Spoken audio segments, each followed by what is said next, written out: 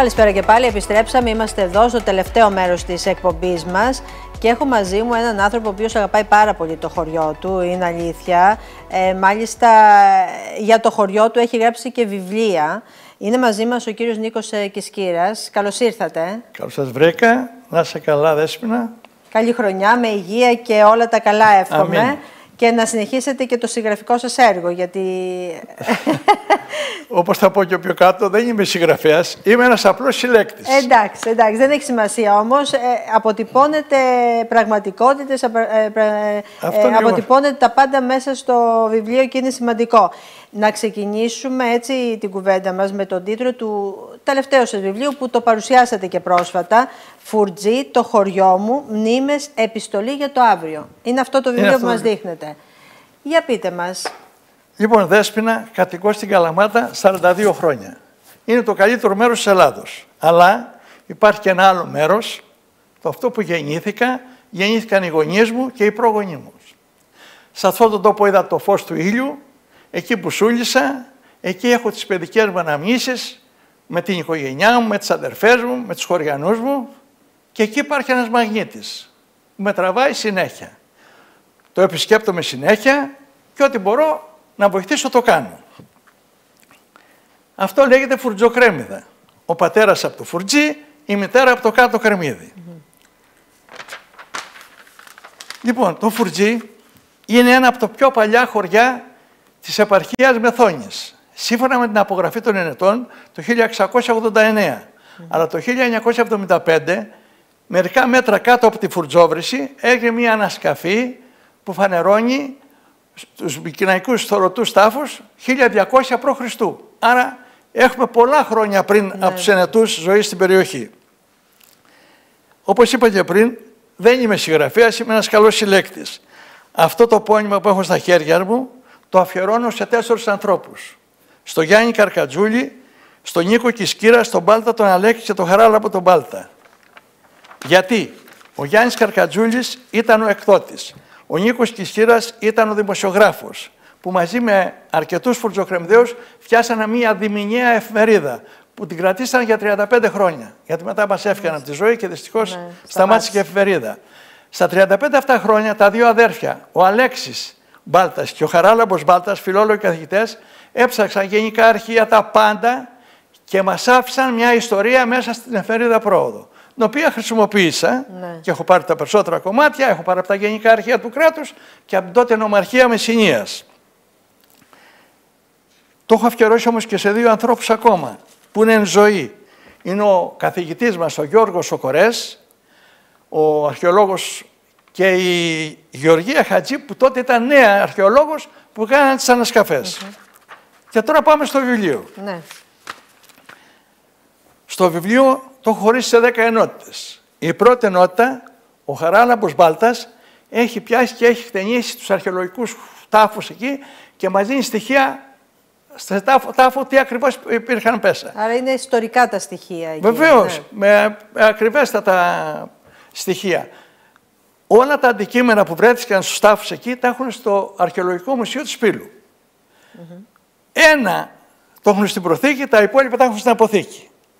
Καταφέραμε όμως με τους προσωπόρους που πέ- πήγαμε στο Μαγκλαβά μία μέρα να κάνουμε την βόλτα μας από την Πύλο. Και εκεί μας βγάλανε από τις αποθήκες και τα είδα μαζί με την παρέα μου, τα- με τα μάτια μου, Αυτά αυτά, τα τα αντικείμενα, ευρήματα. ναι. Δεν τα είχαμε δει από το 1975 και καταφέραμε πριν δύο χρόνια και τα είδαμε. Να καταφέρετε να, να μπουν και στην έκθεση, έτσι, να τα Προσπαθούμε, βλέπει ο κόσμος. Είναι κάτι αλλά σημαντικό. είναι τόσα πολλά στην Είναι αποθηκά πολλά, που ναι. θέλουν διπλάσιους χώρους και τριπλάσιους, παρόλο που εδώ οι φίλοι μας οι αρχαιολόγοι προσπαθούν, αλλά δεν μπορέσαμε Είναι να το κάνουν το δύσκολο, χατήρι ναι. αυτό. Έχουμε τη δεύτερη ενότητα που ο, Χαρα- ο αδερφός, ο, Χαρα- ο Αλέξο Μπάλτας, μας δίνει μέσα από το πέρασμα των χρόνων ε, από την Ενετοκρατία, Τουρκοκρατία, από την εποχή του Καποδίσια με σήμερα πώς ήταν η κατάσταση στα χωριά μας. Και εκεί μια αναλυτική πολύ σοβαρή δουλειά. Πάμε τώρα στην τρίτη ενότητα απογραφή πληθυσμού. Από το 1689 μέχρι το 2023 έχουμε απογραφή και ξέρουμε τις, ε, τις, πο- ε, πόσους κατοίκους είχε κάθε φορά το φουρτζί. Το φουρτζί ήταν στην επαρχία Μεθόνης. Μετά έγινε ο Δήμος Εγάλο που είχε έδρα του Χανρινού. Μετά πήγαμε για λίγο στο Δήμο Κορυφάσιο, μετά στο Δήμο Βουφράδος. Το 1912 μαζί με τα δύο κρεμμύδια, το Άνω και κατά κρεμμύδια, αποτελέσαμε την κοινότητα κρεμμυδίων. Μετά πήγαμε στο Δήμο Χιλιοχωρίων και τώρα είμαστε στο Δήμο Πύλου Νέστορος. Εδώ θέλω να κάνω μια επενθύμηση. Ε, γνωρίζοντας την ιστορία του τόπου, όταν αρχίσαν να γίνουν οι συγχωνεύσεις των Δήμων και έπρεπε να δώσουμε ονόματα στους Δήμους, ε, οι Χανδρενέοι θέλουν να γίνει Δήμος Χανδρενού, οι Σουλιναρέοι Δήμος Σουλιναρίου, οι Κρεμιδέοι Δήμος ε, Κρεμιδίων. Και γινόταν ένας χαμός, τότε ο αείμνηστος... Αντιπαραθέσεις, ναι. Αντιπαραθέσεις ο αείμνηστος Χρήστος Μαλαπάνης ήταν σε μια κατάσταση ολοπρόσαλη. Ένα μεσημέρι πριν φύγω από το Δημαρχείο, ανεβαίνω πάνω στο γραφείο, του λέω Δημαρχέ, έχω μια πρόταση. Στο κέντρο της περιοχής που θα γίνει αυτό ο Δήμος υπήρχε ένα χωριό το οποίο καταστράφηκε. Ήταν το χωριό, το λέγανε χίλια χωριά. Το τοπονίμιο στα χωράφια μας υπάρχει. Θα δώσουμε αυτό το όνομα και θα εσκάσουν όλοι. Και έτσι έγινε. Ο Δήμος Χιλιοχωρίων, ναι. ναι. Έγινε Δήμος Χιλιοχωρίων. Οπότε είμαι ο νουνός του Δήμου. σε αυτή, σε αυτό το, την ενότητα έχουμε και το Μητρό Αρένων. Έχω Μητρό Αρένων από το 1804 μέχρι το 2023 και δημοτολόγιο από το 1919 μέχρι το 2023. Αν ανοίξω το βιβλίο, βλέπω καθένας πότε γεννήθηκε ναι. και τα, αγόρια και τα κορίτσια. Ναι. Ε, μετά έχω δώσει και τα παρατσούκλια. Ο καθένας έχει ένα παρατσούκλι. Παλιά για με τα παρατσούκλια. Ναι, για να έτσι, γνωρίζαμε ένα στον άλλο. Νίκο ναι. και Σκύρας είναι του Κωνσταντίνου, είμαστε δύο-τρει. Όταν έχουμε το παρατσούκλι, ξέρουμε ποιος είναι και τελειώνουμε. και μετά έχω δώσει και τα ονόματα στα τοπονύμια των χωριών. Mm. Η τέταρτη ενότητα έχει να κάνει με τις 7 Απριλίου του 1825. Ενώ θα μπορούσε να είναι λαπρή μέρα για τα φουρτζοκρέμιδα, τελικά είναι αποφράδα. Εκεί θα τα στρατεύματα για να συγκρούσουν το, τα, τους Τουρκοαιγυπτίους και τον Ιμπραήμ. Η πολιτεία τότε, αντί να βάλει τον κατάλληλο επικεφαλή, μας βάλει έναν άβαρχο. Με αποτέλεσμα να τα κάνει θάλασσα και εκεί να σκοτωθούν 700 παλικάρια και να μεγιομίσει η περιοχή μας από τα παλικάρια αυτά. Από φράδα ημέρα, ενώ θα μπορούσε να είναι λαμπρή ημέρα. Εδώ ο Αλέξης Μπάλτας μας δίνει στοιχεία ακριβώς όλα πώς ξεκίνησε η μάχη, πώς κατέληξε, πού ήταν οι διοικούντες, τι όλα. Έχει ένα αναλυτικό πρόγραμμα.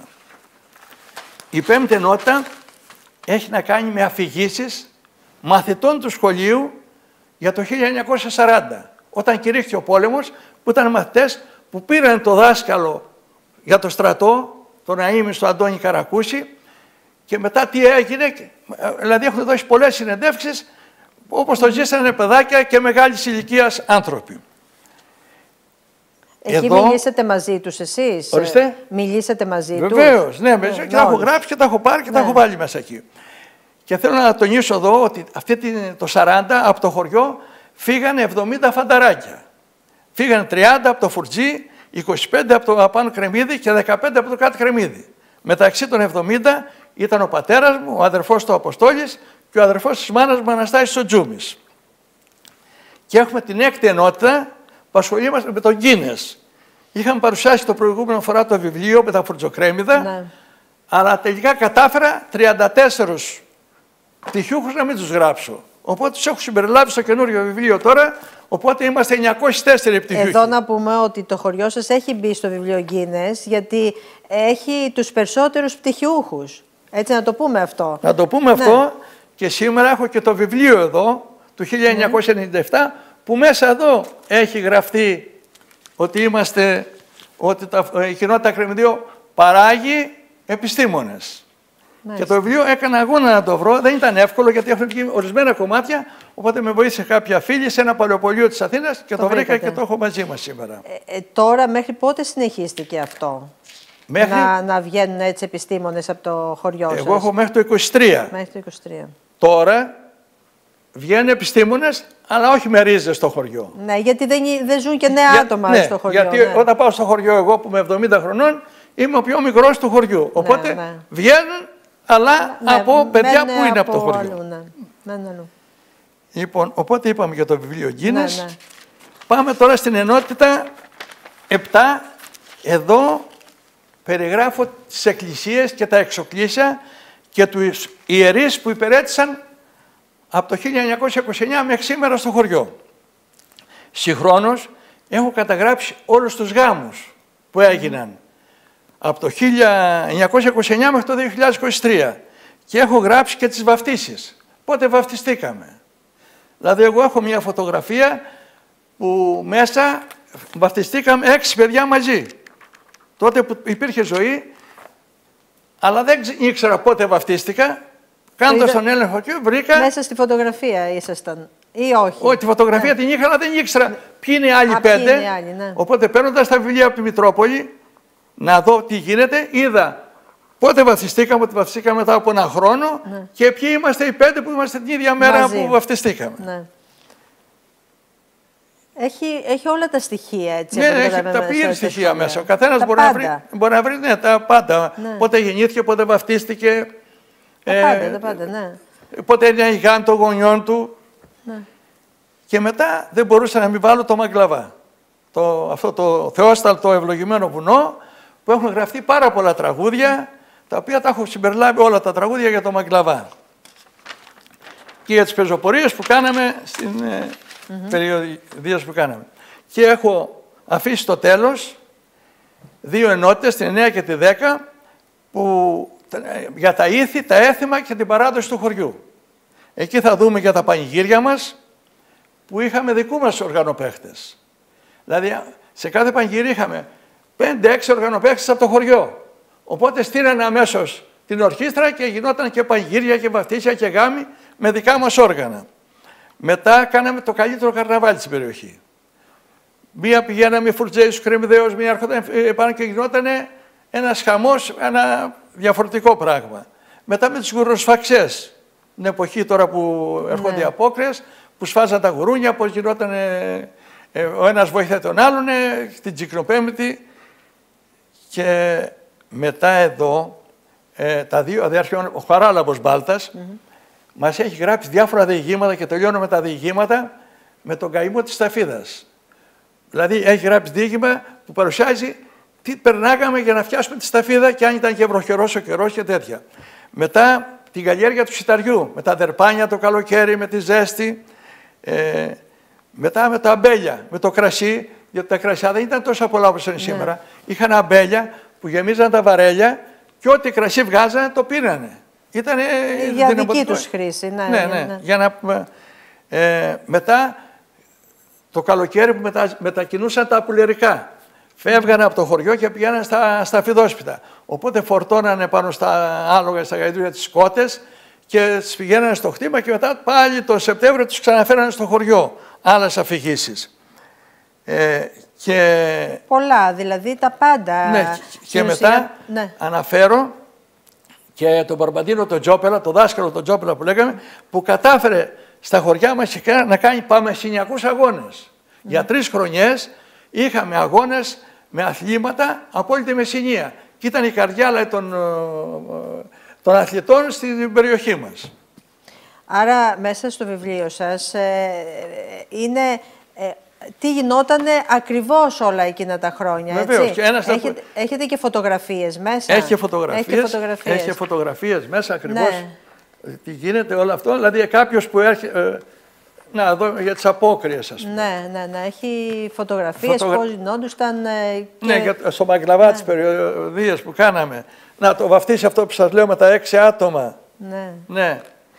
Αυτό το υλικό σας το έδωσαν ή το ψάξατε εκεί στο χωριό, κάποιοι το είχαν, είχατε εσείς... Ε, φωτογραφίες. Από φωτογραφίες, ναι. Οι φωτογραφίες είναι το επόμενο που θα κάνω. Πρέπει να έχω γύρω στις 2.000 φωτογραφίες που έχω πάει σε όλα τα σπίτια. Έχω ανοίξει όλα τα μπαούλα και έχω δηλαδή όλη τη ζωή του χωριού μέσα.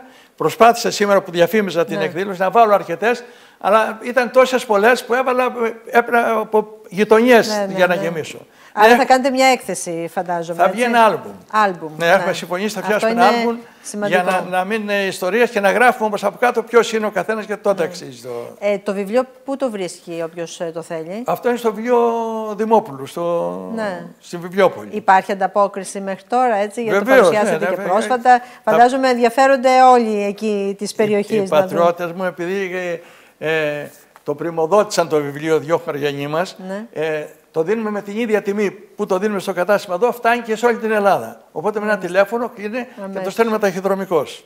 Ναι, ναι. Καλοτάξιδο να είναι το βιβλίο. Ευχαριστώ πολύ. Και να παρουσιάσουμε και τα υπόλοιπα, έτσι, κάποια στιγμή. Με το καλό, όποτε θέλετε, για... Ναι. Ναι. Να είστε καλά. Καλή Ευχαριστώ συνέχεια. πολύ. Να είστε καλά, να είστε καλά.